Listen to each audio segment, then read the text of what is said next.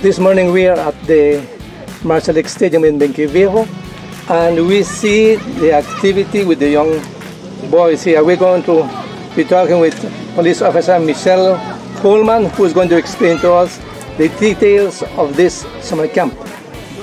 Okay, and I'm Michelle Coleman, like Mr. Chulin rightfully said. On Monday, we kicked off our first ever football summer camp here in Benque Viejo town. This program was organized by Community-Oriented Policing Unit officers from Benque Viejo along with Mr. Geraldo Rancharan, who is a citizen of Benque Viejo as well. This um, started on Monday with a total of 87 children that led to a total of 18 both categories. We have ages from 6 to 9 years old and from 10 to 14 years old are participating. We have um, the children are from Benque Viejo town itself and the surrounding villaging which includes Succotz village. So today we have games that are being played by um, Belize, Team Belize and Team IRCA from Succotz. This is the first game, ages 6 to 9 years old, and this will follow by another game, which will be with kids from age 10 to 14, which will be um, versus um, the other team, Belize, I guess that's the name as well. Yeah, so this program was organized as a part of community programs to have the kids have something positive to be doing during the summer. So this, like I said, is the first ever and I'm happy to say that we have a lot of participants. 87 children is quite a number for this area and um, this is the second day of this camp. So we, we are going to um, have another week because this should conclude on the 19th of this month where they will be awarded. We have two trophies for first, second and um, third places for both categories and whichever team get to be the champion, their players will get an individual medal as well. So these teams consist of males and females? Yes, the teams are mixed. We have both males and females on both team in both categories as well.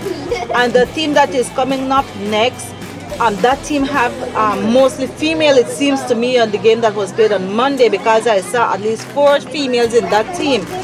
So yes, we do encourage um, summer program to be played by both male and female. We didn't want anyone to be left out or felt left out because these are all kids and we're trying to get unity. And in unity, we do need both sex, male and female. So for that reason, we invited both male and female to participate in our summer program. And this is a way to keep the kids doing something good, getting Positive. them out of trouble, right? Exactly, positive and active. And here in Benque, we know that Benque is, um, I would say, the home of Verdes and this is a place that um, football is well loved. So for that reason we decided to do a, this football program or summer camp that will be held every year starting this year and it is something that we plan to get bigger as the years pass by. What will be your message to the parents who are collaborating with this program? Well, those parents who are collaborating, I would like to really extend a, a, warm welcome and thank you to them as well because without them this would not have been possible for bringing out their kids and actually participating in the program which is very nice because we know mostly like parents wouldn't come out to participate but this is one time I can say that the parents here in Benque Viejo and the surrounding villages have came out to support their kids and if you see Mr. Chulin right now we can see a lot of mothers out here with their children and the other sibling as well. So I know this is something that is good that we had done here in Benque Viejo. And like I said, we will continue this and not to stray from our topic. We do have another summer camp that will kick off immediately after this one. So this one will conclude on the 19th of August and the 25th of August kick off or another camp that will last for one week. And this one we're aiming for 100 children, which will be um, educational lecturers, and we do have a sports day and a church service, a field day trip that is planned as well. And the last day, which will be the Friday, they will be um, awarded with their individual certificates. Thank you.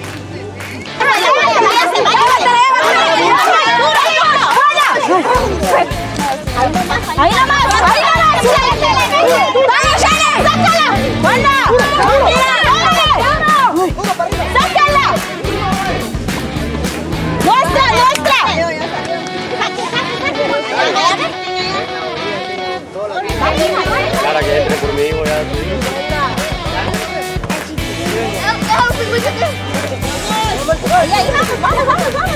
No se nos pongan. Chipi, que entre el hijo de la Clara. Le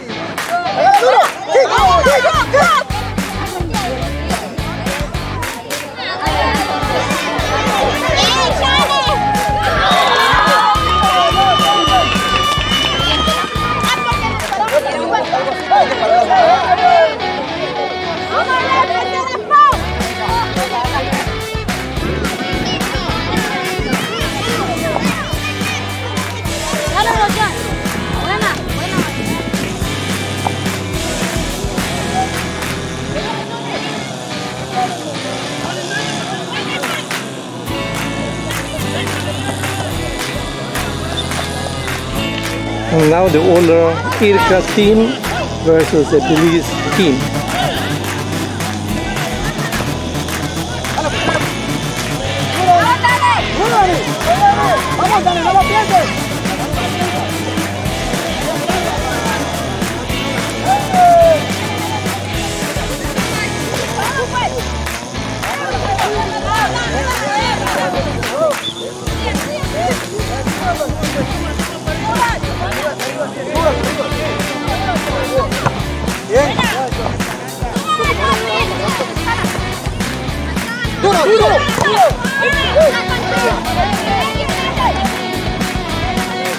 Ai, mãe!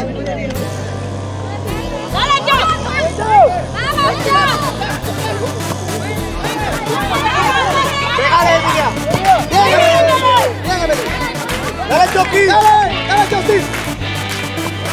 Aí, aí, aí!